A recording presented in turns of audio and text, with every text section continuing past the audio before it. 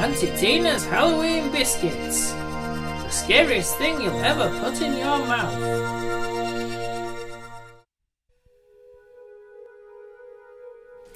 Halloween, that time of the year when evil spirits return to walk the earth, when vampires treat themselves to an extra victim or two, a time when the bogeyman really is under your bed. But for many people, Halloween is also a time for friendship. Hi Phil. I'm home. Hello, Joe. Where did you go? I went to the new mini market built over the haunted medieval cemetery. Well, Joe, call me superstitious, but I think it's wrong to have a supermarket there. Oh, why's that? Because the dead should rest in peace and not be disturbed by supermarket bargains. I am doomed to walk here. Ooh, potatoes at half price.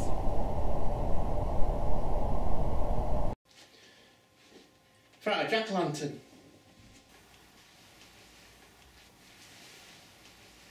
But that's not a pumpkin. No, I thought pumpkins were uh, too American. When I were a lad, we used to make jack lanterns out of turnips.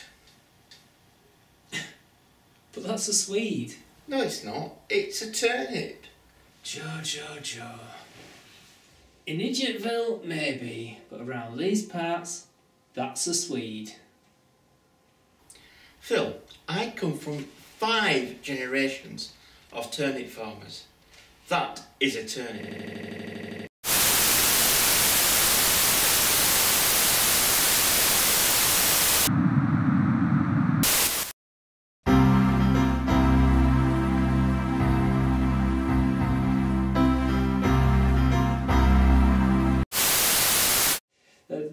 Got an NVQ in food hygiene though.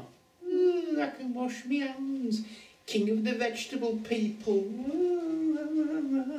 Little did Joe and Phil suspect that the reason they argued was not because they are idiots, but because they were now in the presence of pure evil. Vegetable evil. Scary story. Scary story.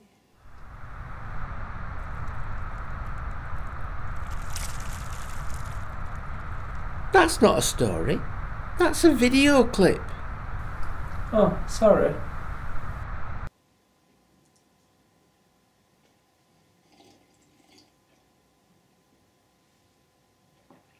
But the edge was too oily, and unable to stop herself from slipping, she fell and drowned in her own pot of melted cheese. Oh, Phil, that's dead scary. I'm glad we don't have a fondue set. Shall we start our lantern now? Yes. Can I draw the face? Yeah, I suppose so, but I want to light the candle.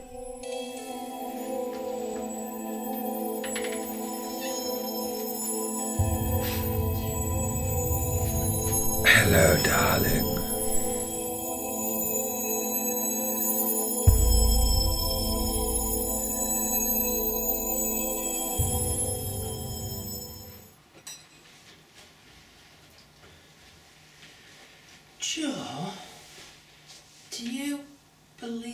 Supernatural?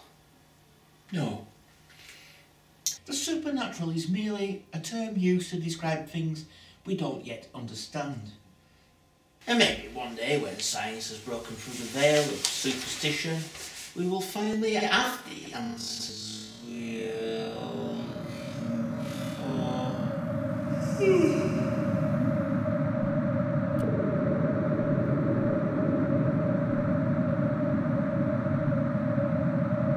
Welcome to my dimension, mortal. At the strike of midnight, a portal will open in your world in your Halloween lantern. Mankind will tremble before me, and you will all be my slaves.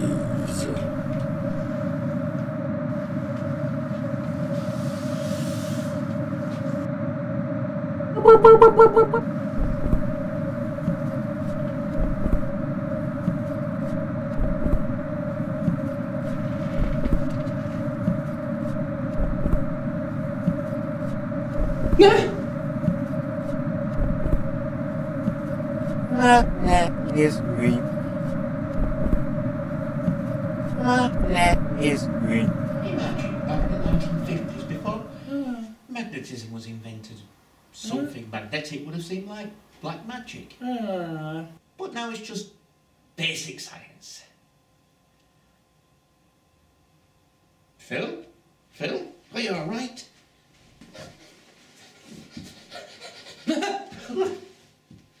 Joe, I just had an evil premonition of the future.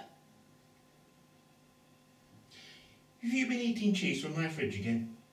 No.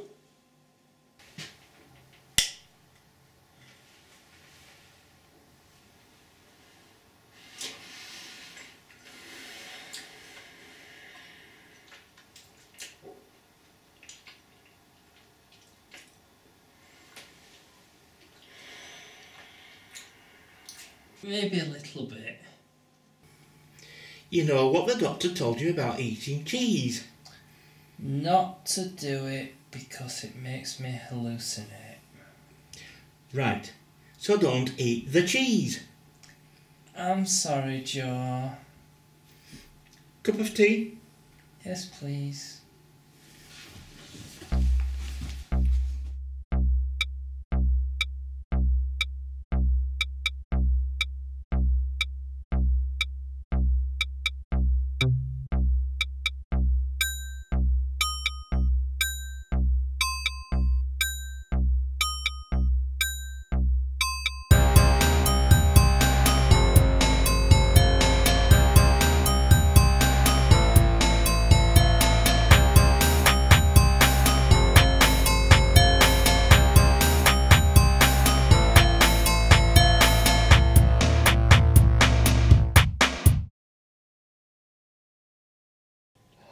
Wow, what an impressive jack lantern.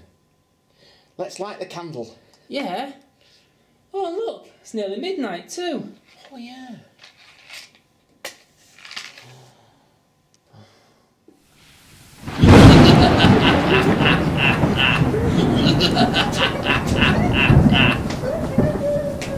Welcome to my dimension, mortal.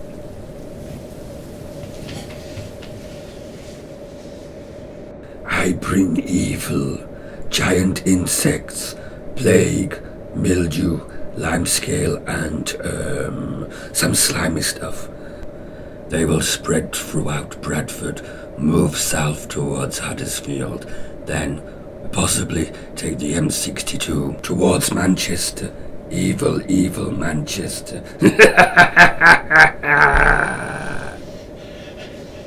My God! Your premonition came true. You mean it wasn't the cheese? No, we have brought an evil vegetable spirit into the world and callously blamed it on the cheese. We're sorry, cheese. Oh, Joe, what are we gonna do? We can surrender to it and hope it has mercy upon us. Hello? Hello? I brought you some Halloween biscuits. Oh, that's nice. Cower before me, mortal woman. Well, how rude. Don't go near it, Tina. It's evil. It's okay, Tina. You can cower behind us. But it's only a turnip. Here, pass me that vegetable knife.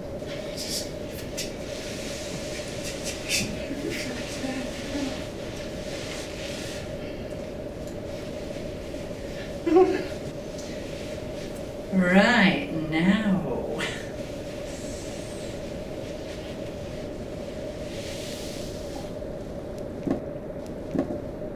No, stay away from me. Stay away. Ah! Bollocks.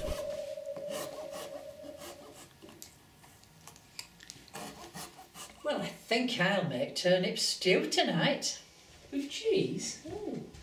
Cup of tea, anybody? Yeah, yeah. So, remember, If someone brings an evil vegetable into your home, make sure you have a small but sharp vegetable knife to hand. Oh, and the moral of the story Joe, Yeah? why is the moral? Um, I don't know. Don't actually think there is one. No. No, absolutely not.